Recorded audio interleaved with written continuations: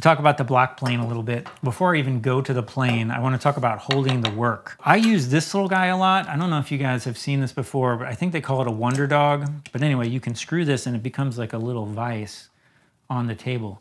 So this is one way I might typically do that is I pop it into this dog hole, push this one up a little. So I can quickly just put a little pressure on that and hold this piece. This is a Roubo style bench.